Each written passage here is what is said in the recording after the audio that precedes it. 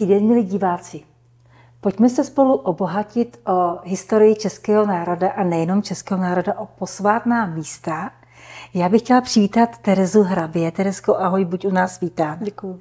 Ty jsi taková studnice informací, nesmírně zajímavých informací o nás, o té české kotlině a, a mnohem více. A tvojí nejsilnější doménou jsou posvátná místa. Já se na tom moc těším na naše povídání. No, bude to, je toho spousta. Je toho spousta. Teď je problém. Čím začít? No. Víš co, začneme tím, eh, jak jsi se k tomu dostala. V kostce, kdybys nám mohla prozradit, jak jsi se vůbec no. dostala k posvátným místům v České republice. Tak, no, já se teda pokusím to zestručnit.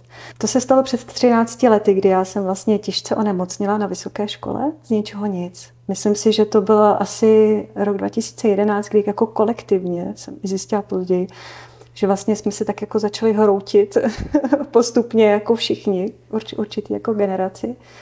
A musela jsem vlastně eh, ze všeho odejít a úplně jsem cítila, že mi chybí kořeny, protože jsem vyrůstala právě na sídlišti, takže jsem jako odešla ze školy a šla jsem do rozpadlého baráčku po prababičce, do, do místa, kde sídlil prostě polovina, polovina našeho rodu. A, a v podstatě jsem se učila jenom jako být a poznávala jsem vlastně, proč jsem nemocná, co se děje. Tehdy jsem pozna, pochopila, že mi jako moc doktoři nemůžou pochopit, eh, po, pomoci, že vlastně neví, neví, co mi je. Ale v podstatě jsem měla zablokovaný úplně všechny čakry a, a už se lhávalo srdce, už, už to bylo jako, už to bylo jako špatný, ale nechtěla jsem jít tou klasickou medicínou. To jsem prostě od začátku jsem jako tušila, že moje cesta bude nějak jinak a že prostě mi bude pomoženo. A tak jsem prostě večery trávila u kamen a přes den chodila po lesích a a tak prostě jsem pozorovala, co se ve mně děje, co přichází z velkých hlubin. A, a tak to šlo rok za rokem, byť teda pak už jsem se přestěhovala do trošku lepších podmínek, ale šlo o to být v té přírodě a, a vnímat jí a vnímat sebe v té přírodě. No a najednou se začalo dít to, že jsem zjistila, že vnímám jinak stromy a že stromy vnímají mě. A, a jaký to je pocit, když mám jako čistou mysl? Jaký je to pocit, když prostě jdu rozkvetlou louku, že vlastně kvetu jako louka?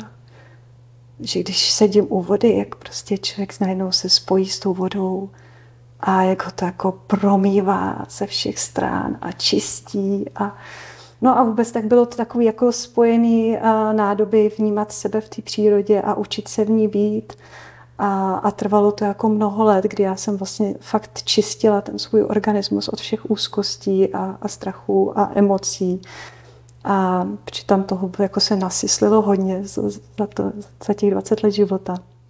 No a tak nějak postupně se začalo dít, uh, vlastně to jsem bydlela nedaleko, nedaleko Dolních Břežán, mm-hmm. kdy jsem, kdy vlastně to je kraj Keltu a Samozřejmě. já jsem najednou začala cítit jakoby tu vrstvu těch keltů, když jsem šla po lese. Já jsem je tam prostě cítila, že tam chodívali. A, a pak jsem vlastně přišla na závist, kam jsem teda chodila jako vícero, ale jenom cestou. Opidium. Kelský, mm-hmm. Největší kelský opidium v Čechách. A jednou mě napadlo jít tou starou původní cestou. Ne jinudy, ale tou starou původní cestou, kam tam chodili ty keltové. No a šla jsem takhle nahoru, stoupala jsem do toho kopce a najednou jsem cítila, že, že jdu jak ti keltové, poklonit se velké matce. A já úplně, ty jo, a kdo byla velká matka? To vůbec neznám velkou matku. No a tak jsem si dala jako uh, předsevzetí, že se tam vrátím. Za dva týdny jsem se tam vrátila se záměrem, že se jdu teda poklonit velké matce taky.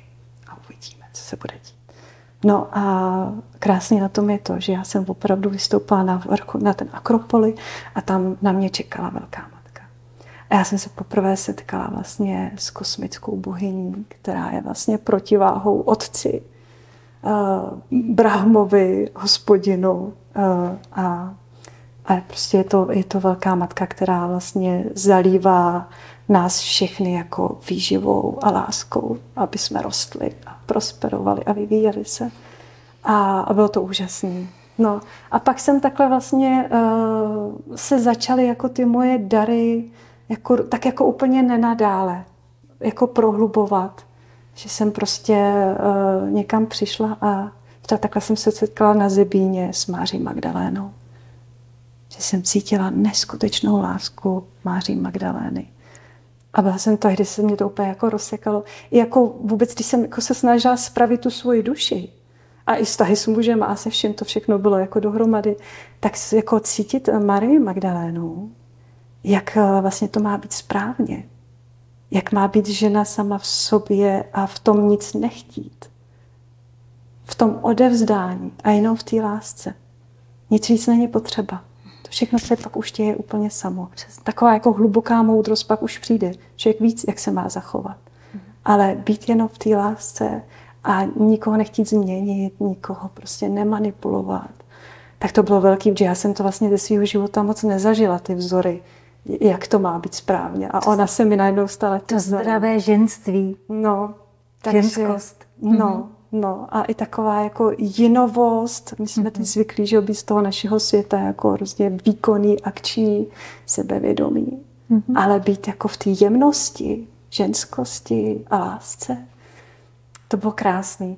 No a pak vlastně se to tak jako různě začalo, uh, začalo odvíjet, že jsem prostě přijela do svatého Jana pod skalou a vlastně jsem tam cítila, cítila toho svatého, svatého Ivana, který tam žil jako poustevník. Přijela jsem na tetín, úplně jsem se rozplakala a začaly prostě přicházet obrazy prostě svatý Ludmily, jaká byla svatá Ludmila.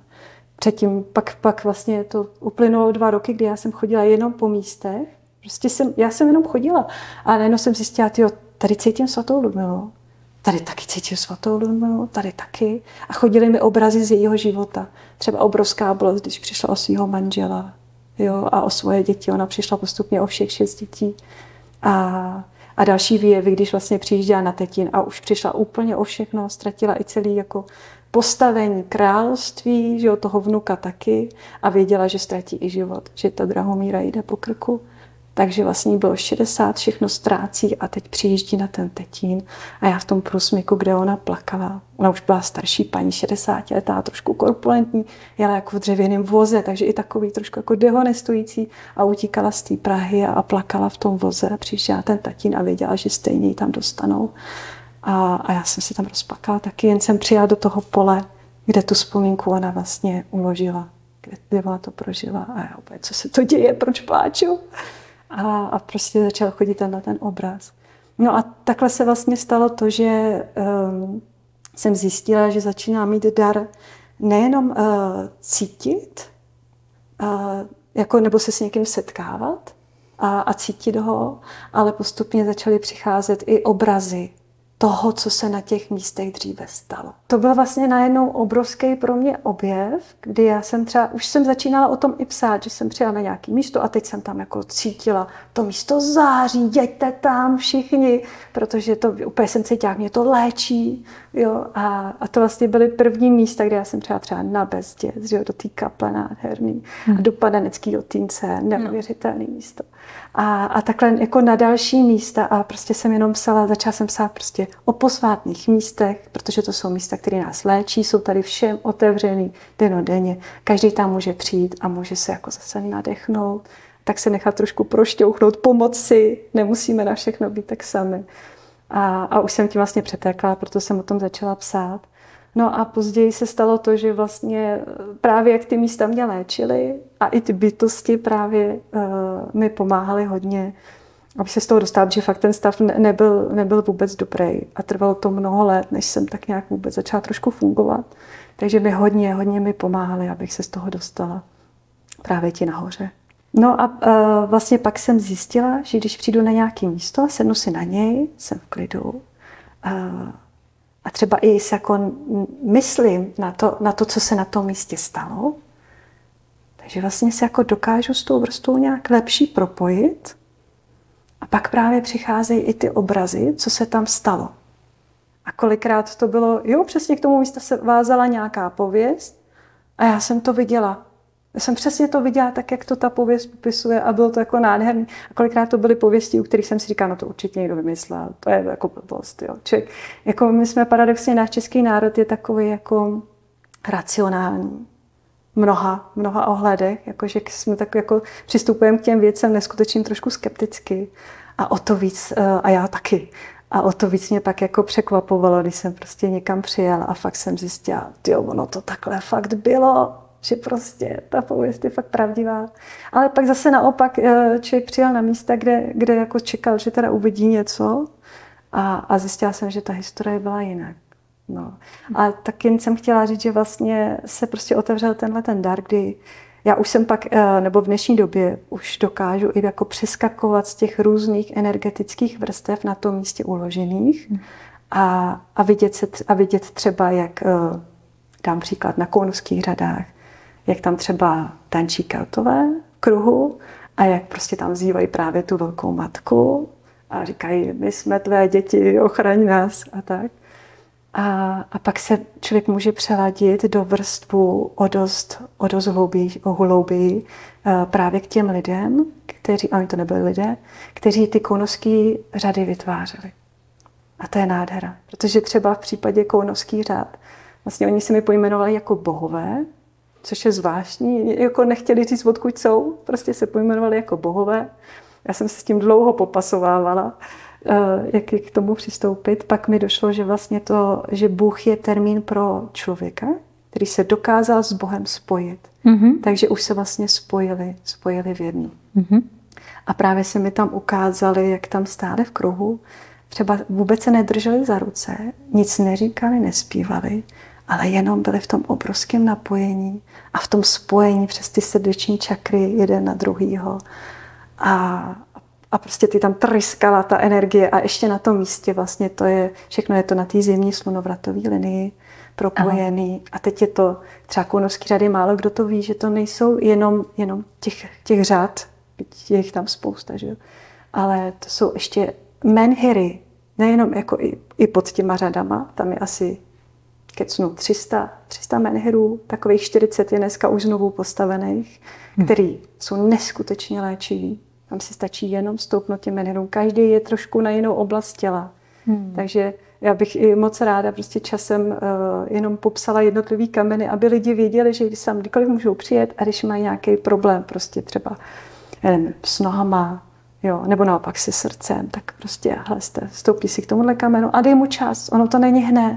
To je, to je třeba jako základní problém jako naší nevědomosti, že přijdeme na nějaký posvátné místo, kterým jsme třeba dostali echo, že, že je silný a my tam přijdeme, tak se jako rozhlídneme, uděláme fotku a zase jdeme pryč. A to nestačí. To nestačí. To potřebujeme, na to se pot, je potřeba času a klidu. To znamená, mm. vždycky říkám, sedněte si tam, aspoň hodinu tomu místu dejte. Mm-hmm. Ať se vy sami sklidníte, ať se pročistíte. A ono pak vám může mluvit. Dokud je tam v té hlavě toho moc, tak vy ho neslyšíte, to místo. Prostě. A ani se s ním nepropojíte. To chce fakt klid. A zase, některý lidi to dokážou rychleji, protože jsou rychleji, jako, jsou už víc prošťouchnutý během toho života.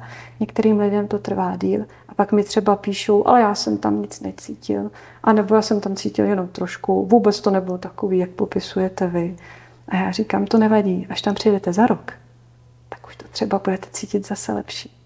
Protože ujdete nějaký kus cesty a lepší, lepší se jako dokážete pak už naladit, sklidnit a víc to vnímat.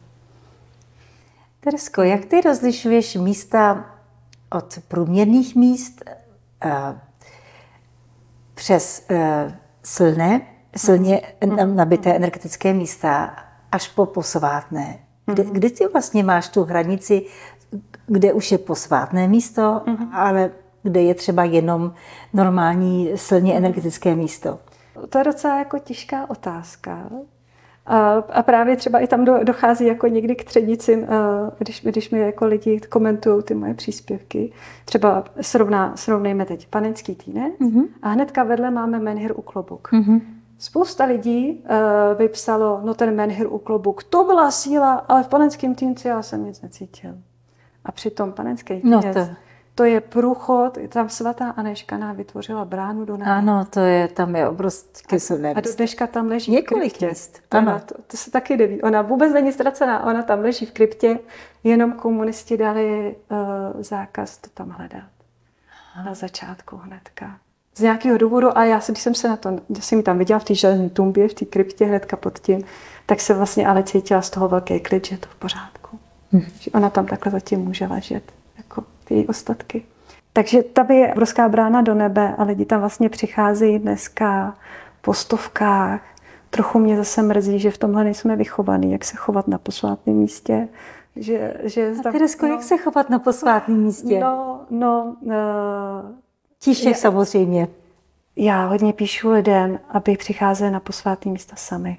Hmm. A má to být forma poutě. Jak kdyby je to, tomu předchází prostě náš nějaký niterný proces a tohle už je jenom ta třešnička na dortu. Jo, taková odměna. To znamená, že procházíme třeba nějakým těžkým životním obdobím, mm-hmm. ale snažíme se s pokorou tím fakt jako projít nejlépe, jak dokážeme. A pak můžeme prostě přijít právě v té snaze jako vyčistit tu mysl, ty tichosti, eh, právě už třeba, když jako jdeme delší dobu, tak my se víc na to místo ladíme. A už tam dáváme i nějaký záměr, s jakým tam přicházíme. Jo? A už i ty, to místo se vlastně ladí na nás. Takže když, když je opravdu třeba aspoň ty dva kilometry k němu jdeme, ne, že si zastavíme hnedka vedle něj, ale že už to prostě jdeme s tam tím záměrem, potřeba bych pomoc. Prostě není mi dobře a, a ladím se na to místo, tak jak říkám, to místo nám pak otevře náruč a pak tam můžeme něco zažít. Ale prostě není to, to co se děje dneska, prostě jako rychlo wellness, to prostě není. To, takhle to nefunguje. Jo? Oni moc dobře ví, komu, komu a jak mají pomoct. Jo? A zase uh, chce to čas. Pokud si tam lidi stoupnou na čtvrt hodinky a teď jako čekají, co se bude dít a třeba nejsou tak prošťouchlí a nedokážou úplně vnímat ty energie, tak já jsem tam třeba byla s maminkou, teď si ji nechci dotknout, jo. ale maminka taky prostě měla pocit, hele, mě ten panenský týnec vlastně nic moc nedal. A právě u toho menhiru, u klobouk, tam cítila, jo, to byla síla, to byla síla. Ale jde jenom o to, že vlastně byla schopná zachytit jiný vibrace. Že paradoxně ty trošku nižší, mm-hmm. protože zrovna menhir u klobouk je už dneska hodně poničený. Hmm. Takže on býval posvátým místem par excellence, ale bohužel už je dost poničený. Takže tu sílu takovou, jakou mýval, nemá oproti tomu paneckému tynci, kde ty pořád ty vysoké vibrace jsou. Byť samozřejmě ono taky tomu nedělá úplně dobře, jak tam chodí tolik lidí a právě se k tomu místu neumí tak moc chovat, takže to samozřejmě taky něco dělá. No. Ale já jsem zrovna na, paneckém tynci, to byly mé neskutečné zážitky. Si pamatuju, že jsem tam přišla poprvé a tedy jsem řešila strach jako z nedostatku, nedostatku peněz, tak jako zase takový jako rodinný téma, že pořád jako mít ten strach, jak se něco zaplatí a že ty peníze nepřijdou. A, a vlastně přijela jsem na ten panecký týnec, že tam mi se nějak pomůžou. No a oni mě první, co udělali, tak mě úplně srazili na kolena. A nechali mě třikrát přeříkat odčenáš. A úplně, o, to ať jsem vzpomínala horko těžko, jak vlastně ten uh, odčenáš zní. A cítila jsem, že pro ně bylo důležitý ta věta, buď vůle tvá, jako v nebi, tak i na zemi. To se naučit se té pokoře a odevzdání. Mm-hmm. A ty, a jenom tohle mě mohlo vyléčit. Takže paradoxně uh, je to zajímavé, že někdy je potřeba i ta přísnost, aby nám se otevřelo, že si šlapeme někde po štěstí. No a tam jsem si to zpracovala, pak už se, tak, pak už se ta hojnost jako otevřela. Ale vlastně tohle, tohle mi chybělo. Takže panenský týnec, já jsem tam fakt pak jela ještě vícekrát a vždycky ty anděle, eh, no dávali mi takový jako manuál, když bych to řekla, do dalšího roku, co teda teď po mně chtějí. Naposledy po mně vyrukovali, že by chtěli, abych jako přešla na živou stravu. A ta úplně, to vůbec nedám. To, to, jak to můžete po mně chtít? A, takže nároky jsou veliký. Snažila jsem se, myslím, že půl roku jsem to nějak zvládala přes léto. To se Přes snad, zimu to, už to to- snaží a přes, Přes zimu to, už to moc nešlo. No. A já vždycky říkám, nesmíte se, nemůžete se na mě moc zlobit, ono to tady fakt není tak jednoduchý, To není. jak by člověk chtěl. No. Ale tak, tak to je třeba, uh, ta, uh, co se týká srovnání těch energií, že um, posvátné místo je místo, který opravdu má velmi vysoké vibrace a tam, když přijdete, tak třeba to poznáte i podle toho, že se vám najednou lepší dýchá, mysl se stiší, projasní a kolikrát i se mi stává, že když tam třeba jdu ve dvou nebo ve třech, tak najednou nemůžeme mluvit. Když jsem přijela třeba do Ojbínu, tam je úžasná, úžasná, úžasný kostel. Vlastně, že Karel IV. tam zakládal klášter, měl u toho postavený hrad. Neskutečné místo. A tam jsem jenom stanovila na Prahu toho kostela a byla to úplně tlaková vlna. Mm-hmm. jsem nemohla udělat ani další krok. Mě to úplně vyrazilo dech, ty energie toho místa. Musela se zastavit, minutu prodýchávat, než jsem vůbec mohla vstoupit. Takže pokud se člověk eh, ocitne na, na takhle jako silném posvátném místě, tak to pozná. Zase jenom to chce přijít mm, prostě trošku stišený. Protože kdybych, já si umím představit situaci, kdy já tam přijdu právě s partou přátel, teď jsme jako nějaký rozdívený, chechtáme se, tak vlastně si toho třeba ani nevšimnu. Jo, proto mm-hmm. je mhm. lepší chodit na ty posvátné místa sám a stěšený. Mm-hmm. Teresko, kolik si takových posvátných míst u nás v republice naštívila? Do, nemám to spočítaný. Nemám to spočítaný. Jsou to desítky, stovky? Pořád, to stovky. stovky. Mm-hmm. Je to neskutečný. Docela i by pro mě bylo zajímavé, já zahraničí nemám sježdění, teprve se chystám. A to porovnat, protože mně přijde, že tady jako je enormní koncentrace.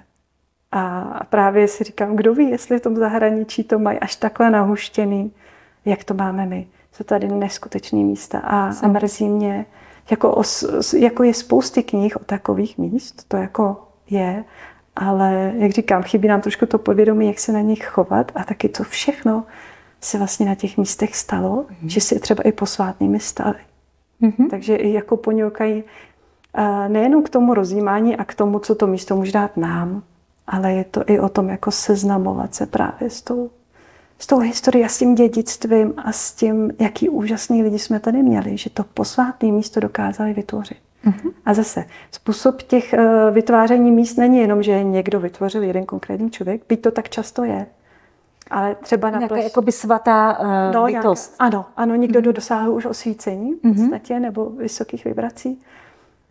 Ale třeba když jsem byla na Plešivci čistit Plešivec, ten se stal době bronzový velmi temným místem, že to jako byla, byla obrovská škoda. Ale když jsem se právě ponořila, tak jako kdo to vytvořil tady, protože jsem cítila, že pod tím jsou velmi vysoké vibrace v té vrstě pod tím, kdo to teda vytvořil. No a najednou se mi ukázalo, jako, že to bylo v božím plánu, aby Plešivec v Brdech byl už posvátným místem od začátku. To mi prostě přišlo krásně, že uh, a myslím si, že zase spoustu těch míst právě byly v tom božím plánu, že jsou to výjimečné místa. A na nich se stávaly výjimečné věci. Mm-hmm. A někdy, někdy pak přichází jako Čili někdy to místo no. bylo dřív silné, než bylo vůbec k němu od, někdo svatý ano, dorazil. Ano, mm-hmm. bylo od začátku vlastně mm-hmm. svatý místo. Ano. No. A pak někdy mi píšou jako pohané, ty, ty křesťané nám prostě tady jako zničili naše eh, svatyně tenkrát, že jo. Uh, tak dělo se to, že prostě na těch původních pohanských místech ale ono ještě předtím, než přišli pohanští slované, tak tam už byly keltové a už tam byly době bronzovíně, svatyně a, a vlastně od počátku to bylo. Takže se nedá říct, že by někdo někomu něco bral, ale že spíš jako všichni, eh, všichni jsme rádi, že jsme objevili posvátné místo a na tom místě děje, se děje to, co se tam dělo tisíce let naspět. Že to je vlastně jako v pořádku. Teresko, je nějaký rozdíl mezi posvátným místem a posvátným hájem? Uh, no, dost to uh, v něčem to dospívá, protože posvátní háje byly posvátným místem. Byť samozřejmě forma těch posvátných míst je širokánská. Mm-hmm. Hodně, možná to diváky překvapí, ale hodně nacházím fakt kostely, který krásně září. Mm-hmm. Byl tam někdo, kdo to dokázal tam tu energii vníst. O to smutnější je, že jako většina kostelů nezáří. Mm-hmm. Byť by měli, jo, mm-hmm. ale nezáří ale jsou, jsou takový. Pak jsou to hodně kopce, vrcholky kopců, kde prostě stály, jak už ty neolitičtí, neolitičtí šamani, nebo, nebo potom ty žreci, nebo ty keltové tam tancovali a, a vzývali toho svého boga. boha.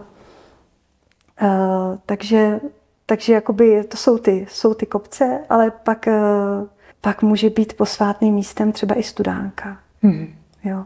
Třeba to se neví, je tady uh, svatý Vojtěch, tady vych, uh, vytvořil jako desítky, když to tak řeknu, uh, zázračných studánek, který uzdravovali. On vlastně jako by těm pramenům požehnal? On dokázal tu vodu zavolat. Mm-hmm. Takže tam třeba nebylo nic. Tam mm. najdete kop, eh, na kopci, myslím, Štědrý se jmenuje.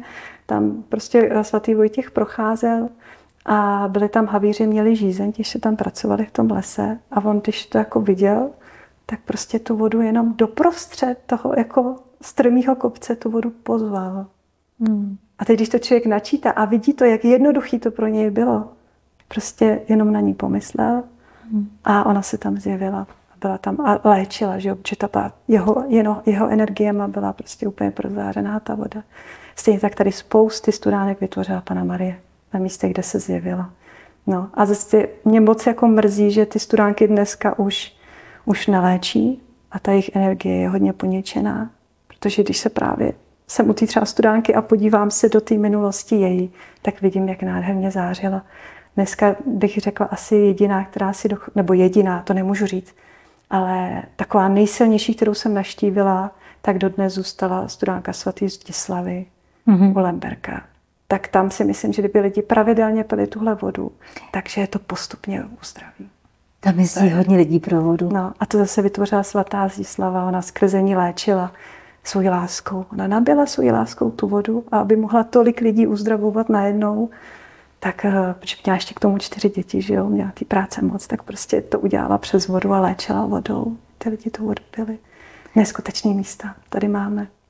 A nešlo by to, že by se tady vytvořila jedna hodně velká skupina, která bude přesně tyhle studánky nebo mm-hmm. posvátná místa léčit? Já myslím, že to se právě přirozeně děje. Mm-hmm. Jo, děje, se to, uh, děje se to i mně, že jsem jako vedená na některé místa, uh, abych je léčila. Některý lidi pak, kteří se ke mně teď už dnes už přidávají, tak vlastně i to místo léčí se mnou. Ale vím, že nejsme jediný, že je tady více rozkupin, který jezdí po Čechách a snaží se ty místa jako očistit. A já z toho mám obrovskou radost, protože uh, když jako ty místa, jak vám říkám, je jich opravdu stovky. A byly dost energeticky poničený. Třeba z jedné třetiny určitě. Aha, když, je, když je obnovíme ty a tam ty ještě třeba trošku posílíme, tak si myslím, že naše Česká republika se vrátí tam, kde byla. Třeba když se vrátíme k těm kounovským řadám, to je síť menhirů po, oni sahají vlastně až k Praze. Kolem tě toho Kounova je obrovský kruh menhirů, který vlastně měl ukotvovat vysoký vibrace v Čechách. A člověk si ani neumí představit, jak tady se muselo žít když hmm. tady byly tak vysoké vibrace, protože to místo je pak chráněné nejenom před živlama, ale před škůdcema, jo? ale ještě to všechno jako lepší roste. Vše, všemu se jako lepší daří. Je to hmm. takový jako uh, požehnaný, požehnaný kraj. A i lidi nejsou pak nemocní v takové krajině. To prostě je to všechno, všechno vzájemně. A i ta voda je přirozeně zářivější víc, když je ta krajina jako vysokovibrační to všechno provázané. A paradoxně zrovna ten, jak se menher, ten menher u klobu, jak jsem zmiňovala, tak ten je poničený tím, jak my jsme energeticky upadli. Ano. Takže tam se stahují energie z té vesnice, z těch klobouk a člověk úplně cítí, jak to takhle přikrývají tu energii jak duchnu. Ale to, to jsou věci, které ještě relativně by se daly jako dobře vyčistit. Mm-hmm. Pak jsou tady záležitosti, kdy já přijdu na místo vyklany nebo uh, nebo spoustu, spoustu dalších míst, kde cítím, že vlastně byly vykonány nějaké černé obřady a někdo se cíleně snažil to místo zavřít nějakýma krutýma rituálama. A to mě teda taky překvapuje, kolik tady toho je a kolik těch snah hmm. zavřít nám naše posvátné místa bylo v minulosti. No, takže to se fakt snažíme teď uh, rozpustit. A... Ty jsi vyprávěla v zákulisí o Pavým vrchu, že to byl docela oříšek. Uh, No, no. A tak to je zrovna jedno z takových míst, to je vlastně no. součást Prahy, že jo, Paví vrch. A jedno z takových místo síly. Ano. Je to, navíc je přímo naproti Vyšehradu. Mm-hmm. Je to takový trochu a Janko, ono asi není ano. náhoda, že, že byl poničený zrovna ten paví vrch, protože Vyšehrad je oproti tomu opravdu to jasné světlo. Ten, ta jinová část, ta, ano. Ta jinová lidská, ale ale pořád to bylo jako místo síly. Zase primárně není žádná energie. A bylo systematicky poničováno, že ten paví vrch? No, nacisti. Já když jsem tam přišla, zničila, jen jsem cítila prostě, uh, myslím, že to bylo někde v nějakém dokumentu, že jsem cítila, uh, že to jako byl silný kopec, tak jsem si říkala, jo, tak se tam půjdu podívat. No a teď jsem tam přišla a všude jsem viděla ty osnatý jako dráty. No, a teď to, uh, že dneska je tam právě sídlo BIS, jo, Bezpečnostní informační služby. A cítila jsem takovou jako temnotu a tíseň a úplně hmm. jsem si říkala, co se tady dělo, dělo. A najednou prostě přišel jako, to mám vždycky jako, jako nápis na čele, jo, jako nacisti. A úplně, aha. A pak jsem přišla za, za kamarádem a říká se mu to a on říkal, no, tam, tam právě nacisti byli. Mm-hmm. Takže tam, tam nějakou tibetánku tuším, že tam roz, rozsekali, no. Tam no. byli takový to, no, to a pak vlastně věci. jsem přišla do, hnedka poté, myslím nějak jsme šli do, do Emaus a zase to byl, když se člověk podívá na staré fotky, ještě jsou dochované, jo, vlastně před první světovou válkou, jak vypadal krásně klášter na Slovanech. Mm-hmm. Jak to bylo důležité místo, jo. kde se učilo vlastně ještě slovanská liturgie, ty mnichy, že se to tam, že Karel IV. se tam snažil, aby ta čeština byla pořád rovnocená té latině, že ten, ten odkaz toho metoděje se vlastně nestratil. A, a prostě krásně to jako zářilo a pak proto byly ty snahy. A vlastně navazuje, Emauzy navazovaly na, na Karlovo náměstí, který mělo být zase uh, novým Jeruzalémem, že jo? Víme to všichni. Takže proto, proto vlastně pak přišly ty snahy i tohle místo zavřít. A na to pak následovala ta bomba, že v momentě, kdy tam udělali takhle temný rituál, tak je dobře vidět, jak vlastně najednou to místo nemá takovou tu ochranu. Mm-hmm. A stejně jako vlastně v těle, když máme slabý místo, tak do něj přijde nemoc. Tak stejně tak uh, si přitahuje poničené místo, si, poni- si vlastně přitahuje nějaké neštěstí. Takže tam vlastně před, propadla bomba střechou a, proto dneska je tam ta divná vidlice, která tomu moc neprospívá to no. místo. Ale už i teď jsou snahy ho nějakým způsobem očistit, z čehož mám jako radost. No. Takže jsou posvátná místa i ve městech. Ano, ano, ano, to je, to je na tom to úžasný, že... Eh, jako třeba je právě v Praze no, Vyšehrad a no, mnoho no, Praha, takových posvátných Praze je toho míst. neskutečný. Mm-hmm. A je zajímavý, třeba já se jezdím do Prahy, do centra léčit. Nikdo by nevěřil, ale já právě třeba, když jsem byla v těch dolních Břežanech, tak já jsem si jezdila pravidelně jednou týdně jít na Karlov, na, eh, na Karlov most mm-hmm. do prostřed. Ano, přesně tak. Tam jsou krásně grálové energie ze tak to je. Uh, ukotvený a celkově ta Vltava je tím tak prosáklá, jak teče tou Prahou. Ano. V tom prostě centru my máme zlatý světlo, který přesně. jde i z, jako z Pražského hradu hlavně teda z Pražského hradu a takhle se jako rozlívá.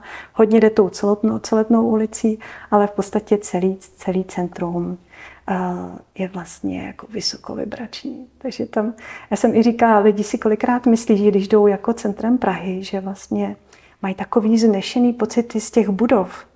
A paradoxně, i kdyby tam byl les, tak máme úplně stejně vznešené pocity. To dělá ta grálová energie Aha. v té Praze.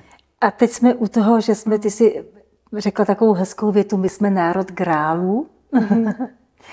No, to byl pro mě jako obrovský objev, protože mm-hmm. já, jsem, eh, já jsem generace, která měla pocit, že musí vyjet do zahraničí a naučit se angličtinu a, a prostě zahraničí bylo něco nej a, a my tady v Čechách jsme prostě stole za opicema a, a, a Čechy prostě za, zaprděný Čechy.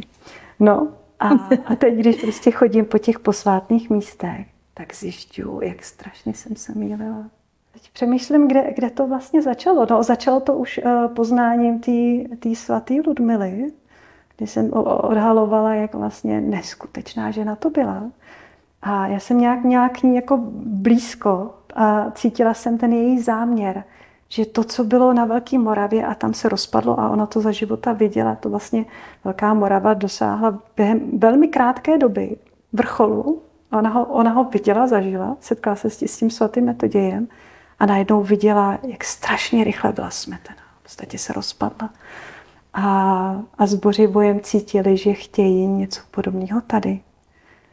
Nebo já si myslím, že to ani jako, nebylo jako na úrovni pocitu, že oni prostě nějak jako přijali informaci, že je třeba, že je zapotřebí tady něco vybudovat a vlastně se i přesunuli z toho levýho radce na zpátek, protože vlastně Bořijovův rod sídlil na té malé straně, a, ale přes dvě generace museli trošku utíct na lepší, lépe opevněné místo na levém hradci kvůli lidské válce a celkově nestabilní situaci, protože malá strana by se hůř opevňovala.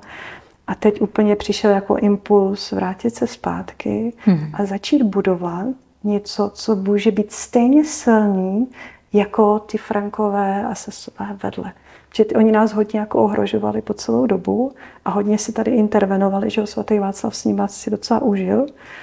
A, a prostě, ale to už jsme, jako, to už jsme teda dál po svatý Ludmile, ale prostě cítili, že je potřeba tady vybudovat něco stejně, co jim bude rovnocené. No jsem táhlo to fraktální pole, že jo? No. Jak jsem padl ten meteorit, hmm. tak ta energie té mandaly, hmm. ta, ta energie toho kruhu, kde ano. vlastně... Já si myslím, že to... Ta energie středu. Že to prostě začalo už za, tý, uh, za, za Libuše. Že mm, už to, přesně. Že ano. ona viděla toho, toho muže tesající ten prach, to jsem viděla taky, když jsem načítala Libuši. I jsem načítala její energie, jo, to otevřený třetí oko. Nádherná žena, opravdu mm. jako blondětá, taková mladistvá, a jemná mm. a mhm. zároveň silná. Mm. Jakože si nedechala nikoho moc jako kecat do života. A vedle toho přemysla, oni byli vlastně posvátnou dvojicí. A já jsem moc ráda, že my v Čechách něco takového máme, že tady máme řadu posvátných dvojic, kdy ty dvě duše, které k sobě jako patřily a hrozně dobře spolupracovali a byly v těch vysokých vibracích, tak vlastně se našli. A právě třeba Libuše s uh, Přemyslem Oráčem vlastně tady založili celou grálovou linii a, a na ně navázala prostě Ludmila s Bořivojem a na ně navázal svatý Václav s mladou a pak prostě další a další a další. A, a takhle se ukotvoval eh, celý, celý ten, nebo tvořil ten celý grálový rod, který v Čechách máme. No. A já jsem pak jsem se ptala jednou, eh, co to vlastně znamená, to, to, ten grál, ta grálovost, jak to vlastně vzniká. A bylo mi ukázáno, že vlastně to jsou duše, které jsou tak vyspělí, že už jako uh, převibrujou do zlatých energií a, a vlastně stejný přitahuje stejný. Takže ty duše, které jsou takhle vyspělí, si vyberou právě, kam se inkarnou, tak už si vyberou tenhle ten, tenhle ten rod. Takže proto jich tam bylo tolik. Mě to tak překvapilo, když jsem je načítala, jak prostě, ať se kouknou na jakýhokoliv krále, tak prostě to byl něčem jako úžasný.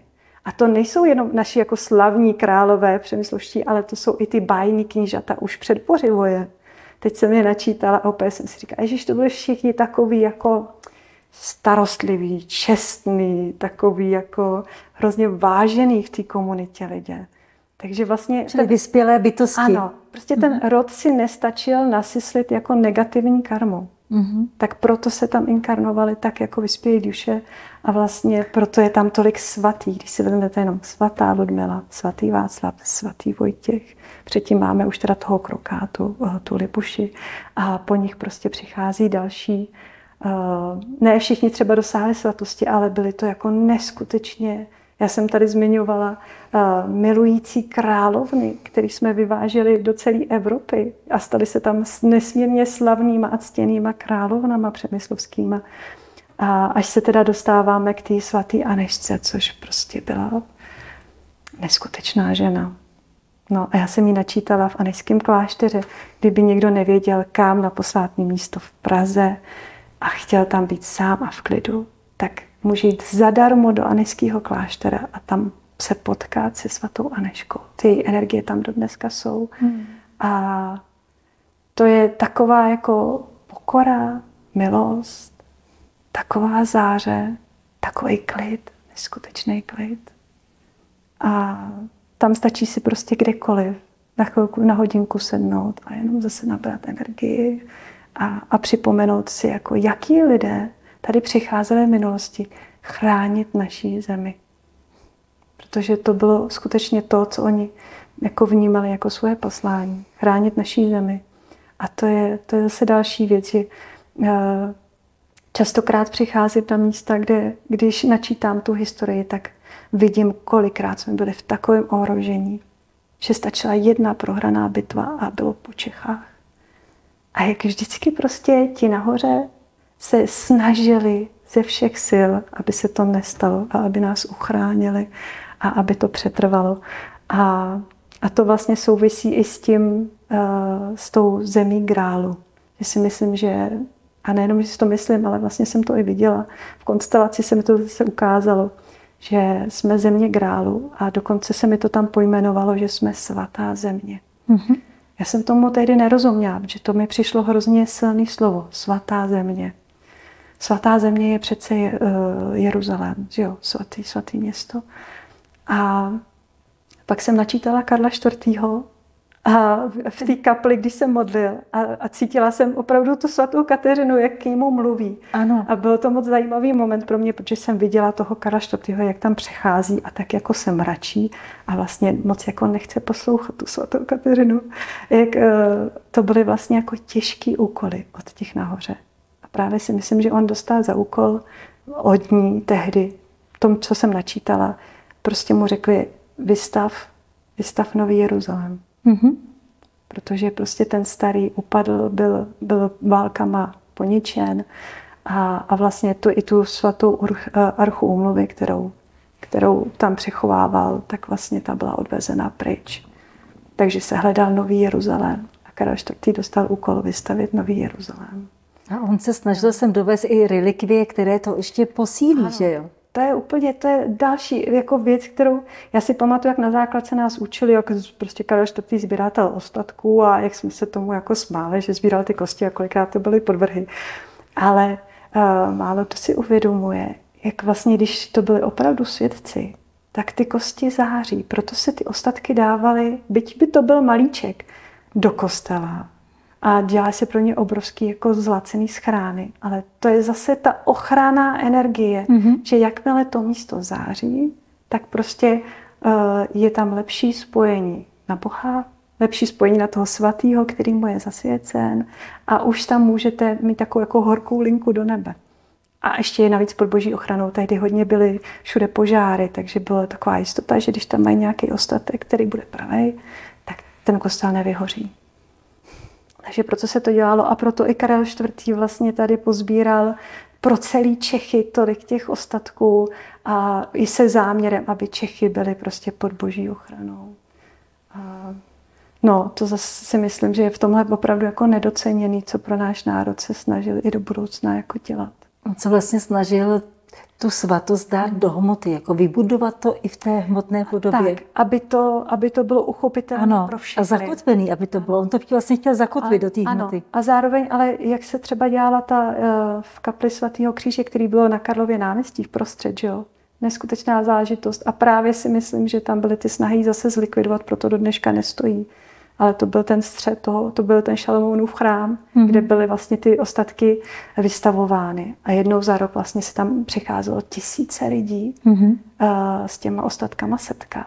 A zase, když tisíce lidí, opravdu tisíce a tisíce, já teď si nepamatuju přesně číslo, ale bylo to jako desítky tisíc lidí, když tam přijde a cítí tu energii těch svědců, tak on vlastně díky tomu prohluboval jejich duchovní uvědomění a zase je vracel zpátky jako k Bohu. To znamená, že ty lidi měli přímou zkušenost a potom už věděli, proč chodí v neděli na mši. Byť samozřejmě to byly jako úroveň těch vší byla jako všelijaká. Ale bylo to něco hmatatelného pro ně, že věděli, proč jsou křesťany a, a za čím jdou. Teresko, kdyby se teda položila otázka, proč jsme teda tím národem toho králu, nebo proč jsme ta svatá země, tak mm-hmm. spousta esoteriků by řeklo, no přece tady to pole, v kterém žijeme, to mhm. fraktální pole, tam ten obrovský magnetismus, který je dostředivý a mhm. který vlastně, jak popisoval ten jeden slavný americký esoterik, že vlastně my tady máme místo, že to učí na všech univerzitách, že tady je specifické místo, tím magnetismem vlastně tady lidi můžou do, do, dojít nebo docházet ke svým osvícení, protože ta dostředivá energie nás nutí být, nebo dojít do středu, jít mm-hmm. ke středu a být ve středu, mm-hmm. čili hledat vždycky ve všem rovnováhu a vlastně ta cesta do toho středu je právě o tom osvícení, že mhm. vlastně najdeme svůj střed ze všech těch extrémů, v kterých se pohybujeme. Takže um, já si myslím, ale to, to není ten hlavní důvod, je, ale je to pomocná, je to taková berlička, taková, uh-huh. to, to, to, to prostředí, který uh-huh. k tomu přímo jakoby vyzývá. Tak, já se teď... A co ti tady ještě něco ještě mnohem vrátím, víc, Že ono to asi, jak jsem říkala o tom plešici, že se ukázalo už v božím plánu. Ano. Že to má být posvátný místo. Ano. Tak já si myslím, eh, a že ty místa byly někdy vytipované, tak eh, co se mi stalo je, že jsem přijela na kamenný kruh v říčkách v Orlických horách. Je to kruh, který je spoustě lidem dodnes jako neznámý, mm-hmm. protože byl za prvý byl dlouho ztracený a teprve teď je to posledních, já nevím, pár, 10-20 let třeba je nově postavený vůbec. Takže je možný jako vůbec ho spatřit v té nádheře, co se nám dochoval. A to jsou obrovitánský uh, monolity, vysoký, prostě přes 3 metry. To hmm. takový obři v krajině neskutečný. Já, když jsem tomu přijala, tak jsem si říkala, jak je možné, že tady něco v Čechách takového máme. A nevíme o tom. A teď to místo vůbec není energeticky poničený. To znamená, že má pořád ty neskutečně silný hmm. vibrace. A já jsem si tam stoupla k tomu, k tomu nejsilnějšímu kameni a ptala jsem se, no a kdo tohle vytvořil, jak je to starý, protože to se do dneška neví. A, a teď jsem jako tam viděla zase ty kelty kolem, dělat ty obřady a ty mimochodem teda byly jako, keltové byly takový asi největší vyznavači, že oni cítili ty posvátní místa. Takže oni je často jako zítkama obehnali a, mm-hmm. a oni o tom jako věděli, co tady v Čechách máme. Takže často je tam nacházím. A pak jsem se nořila jako hlouběji a hlouběji. A už jsem si říkala, jo, to není možný, tak asi ten obraz žádný nepřijde. Prostě já se furt někam nořím a nic. A ve skutečnosti já jsem se nořila tak hluboko, až jsem najednou uviděla nějakého muže, jak prostě ten monolit vysil ve vzduchu nad ním, nad zemí, obrovský kámen. On takhle dělal rukou hmm. a pomalu spouštěl do připravené díry. A já jsem se zeptala, kdo to je. A přišla odpověď Atlantiané. Mm-hmm. A najednou jsem, se mi přišel další obraz, kdy um, by bylo ukázáno, že ve skutečnosti to není kruh, ale že když se trošku ty kameny natočí do správné polohy původní, že to je spirála. A já jsem pak doma vyhledala, že, a že je jakoby s něčím, co je na, na nebi ve spirále spojený. A já jsem to doma eh, jenom jako zadala, co by to tak mohlo být a najednou jsem viděla fotku mléčné dráhy. Mm-hmm. Že přesně to je spirála mléčné dráhy. A že je s tím teda propojená, je to jako kdyby takový jako razítko energetický, otisklý přímo sem. A pak přišel další obraz, eh, že takových míst je po celé Evropě ještě sedm, nebo celkově jich je sedm. A jsou v přesných vzdálenostech kolem celé planety Země, jak kdyby takových sedm zlatých korálků zářivých. A jeden máme tady. Jeden máme tady. Tak to jenom k tomu, že už teda to místo muselo být vyvolené v takhle staré době. Čili Ale, už uh, v dávných civilizacích. Jo, už v dávných civilizacích to bylo, bylo prostě, um, bylo věděno, že je důležité. No a pak se mi začalo, a to se vracíme k, zpátky zase k tomu grálu. Z ničeho nic se mi začalo ukazovat, když jsem byla ve, to jsem byla ve Štramberku. Tak ve Štramberku byla jakoby, je tam cedule, že kdysi to byl hrad templářů. Já jsem si říkala, hm, zajímavý. Tak jsem si tam jen tak jako sedla, že se teda podívám na ty templáře, co tam na tom Štramberku dělali. No a najednou jsem cítila, že někde hluboko pod zemnou, pode mnou, pod zemí, byla místnost, opravdu jako ve velké hloubce. A v té, v té místnosti byla archa úmluvy. A teď, když se otevřela, tak v ní byly tak zářivý vibrace a byly zároveň andělský. Já jsem tomu vůbec jako nerozuměla a úplně se mi to přišlo až jako neuvěřitelný, že by jako kdysi dávno ve Štramberku byla uložená archa umluvy. A tak jsem tak jako nad tím přemýšlela, co to vlastně jako znamená, co s tou, co s tou informací. a přijela jsem eh, na, na jiné místo. A to bylo už Tramberku v jeskyně Šipka. Načítat neandrtálce. Zase byla jsem zvědavá, když už jednou člověk ten dar má, tak jsem si říká, tak se podívám, jaký ty neandrtálci byli. A, a ukázalo se opravdu takový poloopičí lidé, ne, ne moc chytří. A najednou přišel obrovský záblesk, že jako, a cítila jsem jako, že boží vůle, boží vůle je už ukončit tento jako kdyby dlouhý uh, cyklus, ve kterém je prostě tato varianta reality a poznést to na vyšší úroveň. A najednou jsem viděla, jak prostě přivítají plejáďané, přivítají do oblasti dnešního Iráku, Sýrie, tam někde. Jak jsem to cítila jako Perzie. energeticky, tam, tam někde prostě mm-hmm. v mhm. tom středobodu, kde víme, že i bylo nejstarší vlastně zrod civilizací, nejstarší osídlení. Tam se mi to pojmenovalo, že začínají stavět města, nebo jsem to viděla, že začínají stavět města a pojmenovalo se to jako Eden. A, a byly to vlastně, plejáděné měly stejný, uh, stejný energie jako andělé. Tak se mi to tak jako trošku spojilo, co to vlastně pro mě znamená. A, a teď uh, bylo velmi zajímavé jako pozorovat, jak najednou z ničeho nic uh, to začíná jako temnět.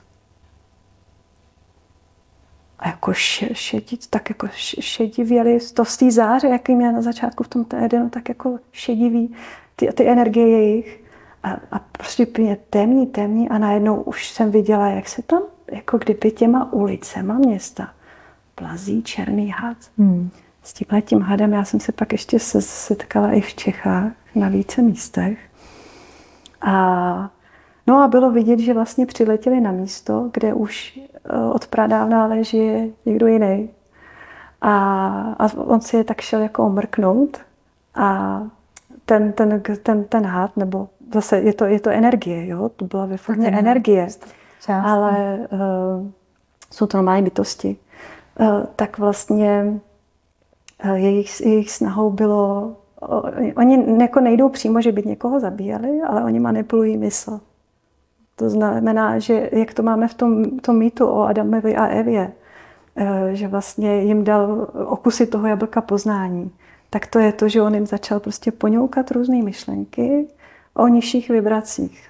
Myšlenky strachu, myšlenky jako uh, takového jako prostě pokřiveného vidění světa, než jaký měli předtím. A bylo to o tom, že oni prostě začali naslouchat a energeticky tím začali upadat a byli manipulováni, aniž to věděli, tak už byli manipulováni. A najednou jsem viděla, jak prostě ta jejich už potemnělá energie se jako šíří směrem k Babylonu, tam už se mi to, jako tam už to bylo hodně temný, a pak směrem k Egyptu, překvapivě, opravdu už i ten Egypt, já jsem ho viděla jako energeticky už teda potemnělej a Řecko taky. A pak to šlo vlastně přes ten Řím, tam jako to byl už pár excellence, opravdu jako, že to dosáhlo obrovské moci. A šíří se to nahoru do Evropy. A najednou to prostě už jako vidím, jak se to šíří k té České republice. A tady se to zastaví. Tady najednou tam bylo tak jako obrovský světlo. A přes ní to nemůže. Takže to jako obtíkalo přes Německo a přes, přes západ, částečně pak z dálky přes ten východ, ale z větší dálky. A tak jakoby nahoru ale jsem to přímo nemohla. Jak z té kotliny tady prostě tady bylo nějaký to zářilo. světlo, které mm-hmm. zářilo. A já jsem si furt říkala, tyjo, tak co to je? Co to tady máme? A co to tady máme? No a právě se to propojilo, propojilo i s tou, i s tou archou umluvy, že zřejmě do nějaký určitý míry jsem byla přivezená právě včas. Ona vlastně sloužila k ochraně. Ona, no je, je. Oni sebou brávali kdysi i do bitev. Ano, ano. Že stačilo odklopit a prostě ten, kdo nebyl dostatečně prošťouchlej, tak ho to... A to, je, to je taková záře. To je taková záře, že v podstatě to spálí všechny energetické centra. To je taková vysoká vibrace, že to prostě, mm, to už musí být člověk opravdu jako na vysoký úrovni, aby, aby to unesl, ale pak jako je to obrovský jako skok do neskutečných jako energií a, a to, to člověka fakt prošťouchne. No. Ale, ale pro ty nižší je to vlastně nebezpečný nástroj. No, proto, je, proto byla přechovávaná v té zlaté skráně. A, a já jsem najednou uh, jsem viděla, že prostě, mm, nebo takhle, jakoby bylo mi ukázáno, že Bůh uh, skutečně s těma plejáděnama, co tehdy při, přiletěli, tak došlo k nějaký prostě úmluvě, že to je jeho lid, protože má s ním spojení pořád. Byly to čisté bytosti, plný světla a lásky. A on se zavázal, že je bude chránit. A oni tam tý žili, já si myslím, že prostě část šla jako ke Slovanům, nebo jakoby do, tý, do těch částí, které pak osídlili Slované. A, a nějak to v té genetice to tam ještě hluboce jako máme. Proto jsme takový jako míru milovní. Byť neříkám, že jenom Slované jsou pláděné, to vůbec, ono je to složitější, to je tisíce let vývoje. Ale a část prostě určitě se stala i, i těmi, těmi židy v té v části historie, kterou dobře známe. A došlo teda k té úmluvě a k tomu vytvoření té archy úmluvy a no ale i k tomu, že pak prostě přišel, přišel ten Ješua a oni ho vlastně nepoznali. Přišel, přišel tady zase znova jako obnovit to království nebeské a, a oni ho tam ty židé nepoz, nepozvali. A tím pádem upadl celý Jeruzalém, energeticky ztratil tu boží ochranu a, a začal se hledat nové svaté místo, kde by, kde by prostě se mohlo obnovit království nebeské na zemi. A je to neuvěřitelné a já sama doteď nevím, co s tím, protože vím, že to je neu, jako taková až jako dech beroucí informace, ale myslím si, že v budoucnosti může být nesmírně pro nás důležitá. A že vzhledem k tomu, jak chodím po těch posvátných místech a odhaluje se tam ta minulost, která je v mnohem tak neskutečná. Jo, když, si, když to není jenom jako svatá Aneška Česká, která tady dokázala, když eh, nás oblíhali Tataři, tak ona šla a modlila se k paně Marii. A pana Marie se zjevila, jak u toho Štramberku, kde se slala déšť a se šplouchla je všechny, tak uh, ty, ty Tatary, tak stejně tak u Hostína vlastně zjevila a zase prostě dokázala to ty nepřátelé odsaď jako vypudit, pana Marie. Pana Marie. A vlastně pak si jí na to konto postavil obrovský chrám jako na, na hostýně. A do dneška tam můžou lidi cítit energii Pany Marie, protože tam je prostě všude nad, v celém tom místě. Takže tady má svůj chrám u nás. No, ale těch míst, kde je Pana Marie, je spoustu, proto říkám, kdybyste věděli, jak ty lurdy my máme jako v Čechách, jak prostě stačí, uh, stačí jen vědět, kam přijít a tam se s ním můžete prostě setkat. No, neskutečný. Teresko, nabízí se ještě k tomu mhm. tématu jedna otázka. Co to pro nás znamená do budoucna, protože ten grál svým způsobem je u nás celou dobu relativně spící. On A pořád on... září, on pořád září. To no, pořád, ale je dobře schovaný, tak pořád září. Je dobře schovaný, ale eh, na nás to není tak vidět. Jako samozřejmě je tady hodně vysoký duchovní potenciál. Hmm. Myslím na těch, těch nižších hmm. vibracích to není tak vidět, takže eh, když se podíváme do parlamentu, tam to není tak vidět a když se podíváme dál eh, do dalších spekter, tak tam to taky... to nemá být vidět. Protože tady Ale... to přijde od spoda. No a právě, hmm. Teresko, já vlastně mířím úplně tam, že hmm. nějak cítím, že přijde nová úloha, nový tak, úkol ty tak. naší země, že ten hmm. grál začne uh, intenzivněji no. zářit a trochu Určitě. se to tady přeposkládá. Ale uh, tam ještě další věc, že mě bylo ukázáno, zase budoucnost není přesně daná, mm-hmm. ale byla mi ukázána varianta, hned v zápětí, co jsem to uviděla, že zhasne. Já jsem se rozbrečela úplně strašně. Vůbec jsem nevěděla, proč brečím, ale prostě mi to bylo ukázáno. A já jsem věděla, že to je něco, co nesmíme nikdy dopustit. To znamená, že budou tady intervence o to, aby naše světlo zhaslo a oni se mohli dostat. To už tady jsou. A postupně to, co vidím já a co i žiju, je to, že se ke mně přidává spousta bojovníků světla, když to mhm. tak řeknu. Ano a který tady bojovali od pradávna. Ono, ano. přesně ty vysoké bytosti, o kterých mluvím, že je mhm. načítám jako mhm. svědce, tak s těma se teď potkávám ano. a vím, že se zase znovu inkarnovali a zase znovu mají ten záměr bojovat za naši zemi. Mm-hmm. A myslím si, že už je pasé ta doba, kdy jsme spolíhali na to, že nějaký politici tady budou moudře zpravovat naši no zemi. Uh, prostě teď to je naším úkolem. Ano. My musíme převzít zodpovědnost za to, jak to tady vypadá. Jak vypadáme my sami uvnitř, jak vypadá naše duše. Aby jsme byli dostatečně průtoční a dostatečně zářili a dokázali tady pak ty vysoké vibrace ukotvit a udržet. Což je docela fakt těžký, těžký úkol. A zvlášť, když pak přijdou opravdu jako kritické momenty. Tak umět se zachovat správně a umět prostě bojovat za to, co nám je drahé. Protože zlo právě je to řekla, ona je tiché, to je to furt to vaření té žáby, že si toho nevšimne. Ano. Jo, pomalinku, pomalinku, houšť a houšť a ono to jako prochází. A právě to, to je o tom, jako že my si to nesmíme nechat. My musíme být nesmírně bdělí a připravení, jako říct ne. I za cenu toho, že oni pak budou dělat bububu. To dělají celou dobu. To dělají celou dobu. Jakmile člověk jen se trochu začne jako se rozáří, trochu začne svítit, tak to je obrovská, obrovská vlna, jak toho člověka sejmou. Přesně tak. Ale když to, eh, když to ustojíme a oni nám pomáhají, aby jsme to ustáli. Takže fakt jít jenom do té pokory, do té důvěry a naučit se nějakým způsobem to odslonit, že jo, ty, ty negativní energie, udržet si to svoje světlo, tak eh, pak si myslím, že nám nic nehrozí. Protože v tom božím plánu je, že my to dokážeme. Určitě to dokážeme. A kdyby náhodou na chvíli zhasl, tak se od, potom o to víc rozáří. Jako kdyby... Tak, já jsem i viděla vlastně, jako, jak říkám, na začátku jsem z toho byla špatná, posílala jsem to svojí kamarádci, která má taky mnohé duchovní dary. A přímo v tu chvíli, jsem to načetla, tak aby i ona cítila všechny ty energie a tak, co tam v tu chvíli byly přítomné. A ona mi odpověděla po týdnu, že si to pouštěla mnohokrát. Po každý přišla stejná informace, že budoucnost není přesně daná, že někdo chce zřejmě, abych, uh, abych si myslela, že teda zasne. Poslal mi jenom jednu variantu reality. Tak.